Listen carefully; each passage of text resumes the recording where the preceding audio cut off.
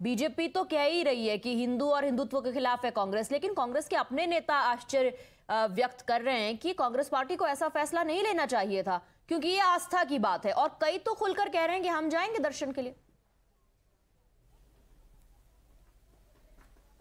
देखिए स्वाति जी, यही खूबी है भारतीय जनता पार्टी के इस समारोह से, जो शास्त्र सम्मत नहीं है, जो शास्त्रीय मान्यताओं के अनुरूप नहीं है तो सबसे ज़्यादा उस पर प्रमाणिक तौर से टिप्पणी और उसमें क्या खामियाँ हैं?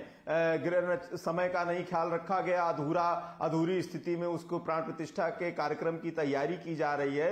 तो सर्व स्वीकृत जब चारों शंकराचार्य ने इससे जुड़ी अपनी राय रख दी है तो इस पे भारतीय जनता पार्टी के लिए पॉलिटिकल स्कोर के लिए कोई जगह नहीं बनती है। लेकिन चूँकि अपने ये आदत से मजबूर लोग हैं पर मैं सवाल आपको पूछ रही हूँ कांग्रेस के अपने नेताओं के बारे में। ये राजनीतिक एजेंडा सेट करने में लगे हैं। तो ये, ये दुर्भाग्यपूर्ण है। ये जो कांग्रेस है। जो कांग्रेस के नेता जाने की बात करें उनको राजनीति के एजेंडा दिखाई नहीं दे रहा है। और अगर नहीं दिख रहा है तो हाईकमांड कहता क्यों नहीं कि ये राजनीतिक एजेंडा है आप दूरी बनाए रखें। देखिए किसी कार्यक्रम में हम सब राम भक्त हैं हृदय से राम भक्त हैं राम का अनुसरण करने वाले हैं राम राम की भक्ति से अपनी जनता की सेवा करने में विश्वास रखते हैं। भारतीय जनता पार्टी की तरह नहीं कि राम राज्य की परिकल्पना में वहाँ की जनता वहाँ की जन, जनार्दन जनता केंद्र में रहती है। भारतीय जनता पार्टी ने जनता के साथ क्या दुर्व्यवहार क्या आचरण किया है क्या सौतेलापन किया है ये किसी से छुपा नहीं है। उस सब कामियों को खामियों को छुपाने के लिए ये ऐसा मूर्त रूप दे रहे हैं। लेकिन ये होने वाला नहीं। कांग्रेस पार्टी के उन नेताओं ने जो इसका स्वागत किया है और पंद्रह तारीख को उत्तर प्रदेश के कांग्रेस ने कहा हम जाएँगे। हमारे राष्ट्रीय महासचिव कहीं जा रहे हैं। तो राम से राम मंदिर से अयोध्या से कोई ये नहीं है। आपको इस भेदक रेखा को समझना पड़ेगा। भारतीय जनता पार्टी की चालाकी जो लेटर पड़ेगा। Bharatiya Janata party statement issue किया गया था उसमें जयराम रमेश द्वारा ये लिखा गया कि लोगों सुप्रीम कोर्ट के फैसले और लोगों की भावनाओं को ध्यान में रखते हुए ये फैसला लिया जा रहा है। तो हाईकमांड लोगों की भावनाओं को ध्यान में रख रहा है। लेकिन जो दूसरे नेता हैं, वो भावना को ध्यान में नहीं रख रहे क्या? चारू प्रज्ञा दी एलिगेशन और other the response coming from the Congress party और the counter is and Ramesh Chennithala Shankaracharya ही नहीं जा रहे हैं तो why should we go and we will decide when we want to go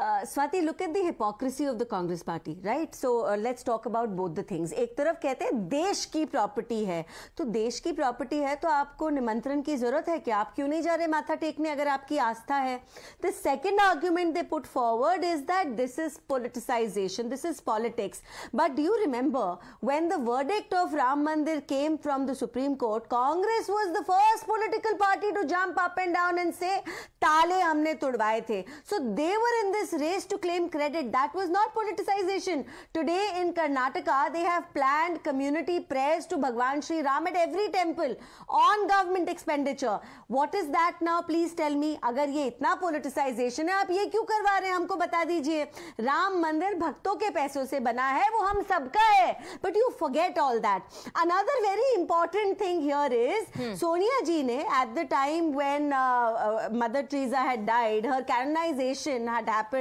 Uh, she wrote a two-page love letter. Two-page love letter. In that, she was apologizing profusely to the Pope, saying, "I'm sorry, I cannot make it.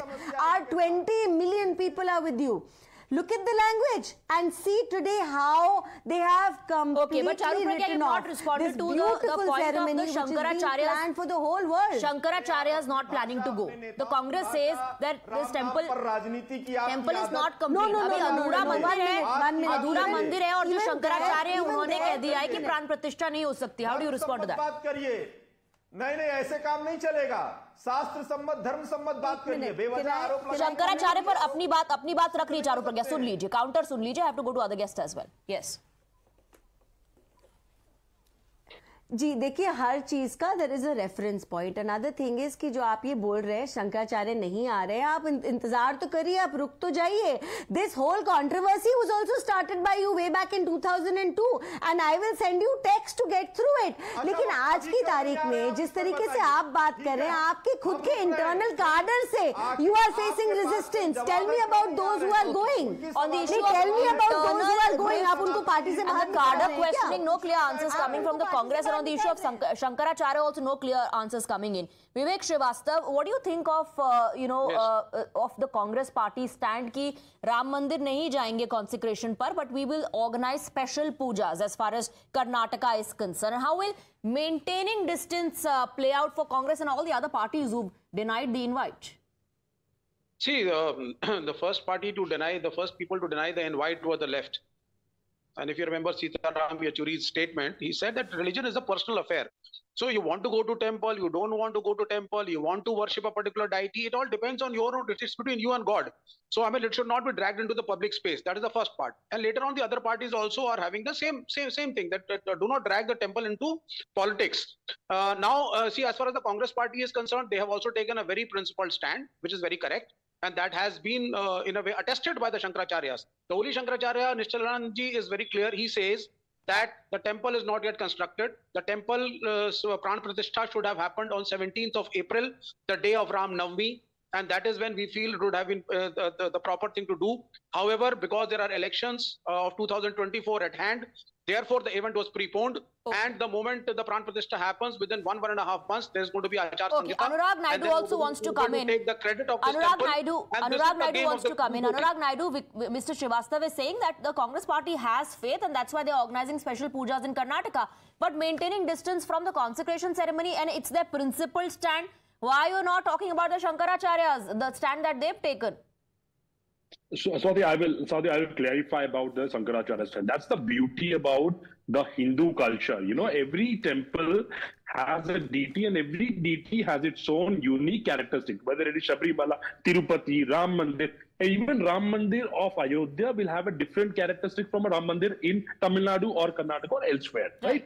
All the Shankaracharyas belonging to all the Peetams, they have different belief system when it comes to the practices that they believe in. They have logic behind it. They have Veda Puran, they have Shastras, right? Okay. So few Shankaracharya, not everyone, by and large, it's not a blanket rejection party. Mm. You have everyone from the top to you know, north to south of India. All the religious, uh, you know, leaders are, mm. are visiting. There are few Shankaracharyas like the Puri Jagannath uh, Shankaracharya, as, as, I understand, has, has has opposed because of he's put forward his views. Okay. And also, let's understand, uh, Praswati, let's not look it from a point of view of an infrastructure. Congress is telling that Mandir Purani Bana. It's not infrastructure. It's not an inauguration of a temple. Right. It's a Prana Pratishtha. Let's be categorical. It's not a temple inauguration. Okay, you're saying this is not inauguration of the temple. This is Prana Pratishtha. I have some breaking inputs coming in. Anurag, I'll come back to you.